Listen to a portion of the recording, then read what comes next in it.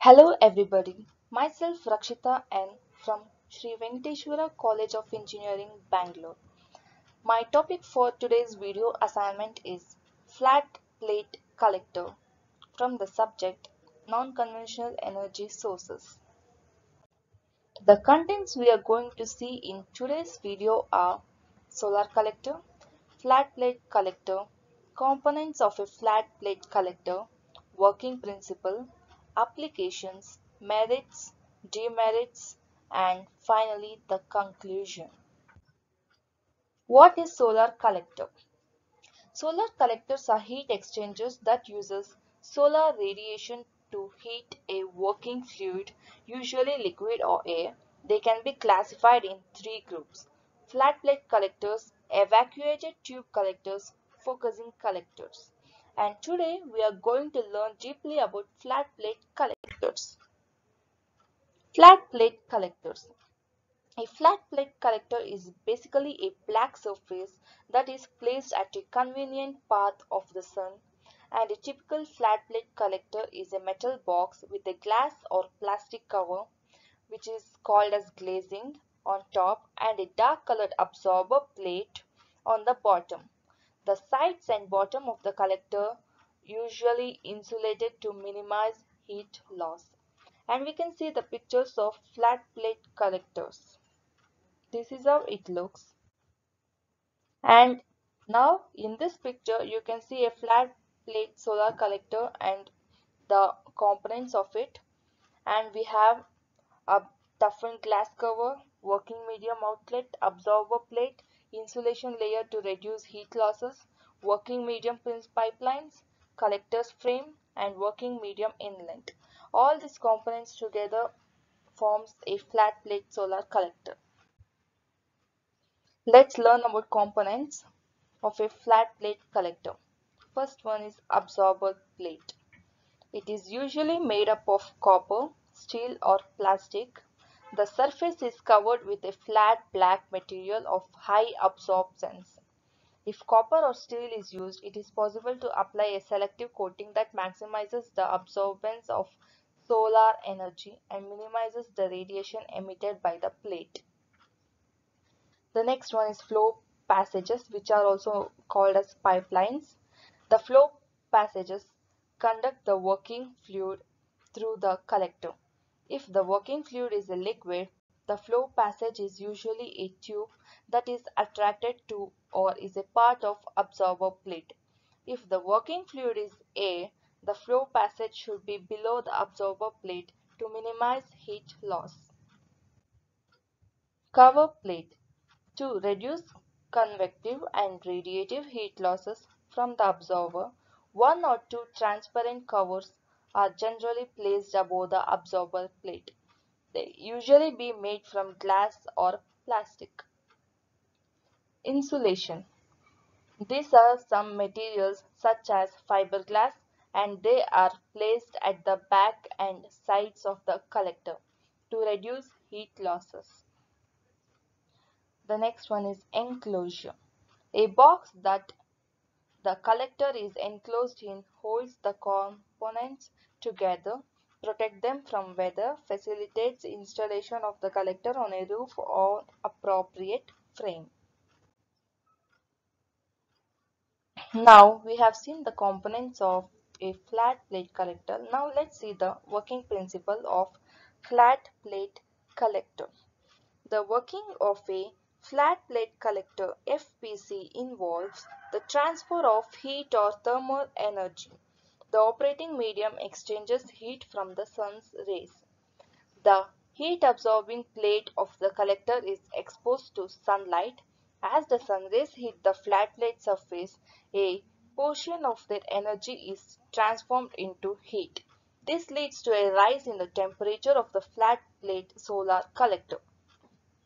When a fluid is passed inside the collector, the temperature of the fluid increases. As the heat from the absorbing plate heat is transmitted into the fluid. Eventually, the fluid transmits the thermal energy from collectors to the functional energy systems for different uses. It works on the principle of first and second law of thermodynamics. The applications of flat plate collectors. Usually, the flat plate collectors are used for both domestic applications and commercial applications. Let's see the domestic applications of flat plate collectors. Flat plate collectors mainly used in residential buildings where the demand for hot water has a large impact on energy bills. This generally means a situation with a large family or situation in which the hot water demand is excessive due to frequent laundry washing. For instance, a family of four members consumes an average 100 liter of hot water a day at 60 degrees Celsius.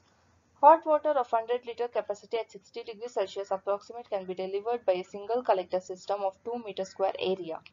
A solar water heating systems are generally provided with auxiliary backup in the insulated hot storage tank for the rainy and heavily overcast cloudy days.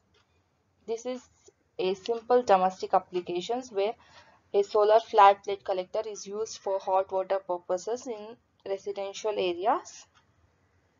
And we also have a tank which are auxiliary backup in rainy and cloudy uh, days. So it's a good use, good application of a flat plate collector. The commercial application of flat plate collector. Commercial applications include laundromats, car washes, military laundry facilities, and eating establishments. Solar water heating systems are most likely to be cost effective for facilities with water heating systems that are expensive to operate or with operations such as laundries or kitchens that require large quantities of hot water. And unglazed liquid collectors are commonly used to heat water for swimming pools. Because these collectors need not withstand high temperatures, they can use less expensive materials such as plastic or rubber. They also do not require freeze proofing because swimming pools are generally used only in warm weather or can be drained easily during cold weather. Now let's see the merits or also advantages of flat plate collectors. First merit is easy to manufacture. The flat plate collector is a simple design and can be easily manufactured unlike other solar thermal devices which are very costly. The cost of a plate collector is less when compared to other materials such as copper. Flat plate collectors are also cheaper to manufacture than curved surface concentrators because of linear design. A FPC is used to collect and store solar energy on the roof surface or wall surface and then convey it through pipes to various appliances, space heating, water heating or air conditioning systems. Second merit is low cost. The flat, flat, flat panel heat exchanger system is quite cheap and easy to install compared with the conventional solar systems that cost more and takes more time for installation, also making it difficult for homeowners to install them themselves. The third merit is the flat plate collector is simple and easy to operate. The flat plate collectors are very easy to operate because they don't have to complex parts inside the panels. In addition, without any electric elements, flat plate collectors are also simple to install and can be easily operated by only one person. Now let's see the demerits or disadvantages of flat plate collectors.